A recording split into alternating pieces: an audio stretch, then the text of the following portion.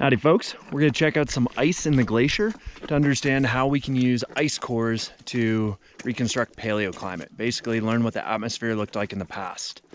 So glacial ice, when it's properly mature, has this bluish color. And let's see if we can actually see this. If you look close, there are bubbles in the ice. Those bubbles, that's the air in between the snow mol the snow crystals.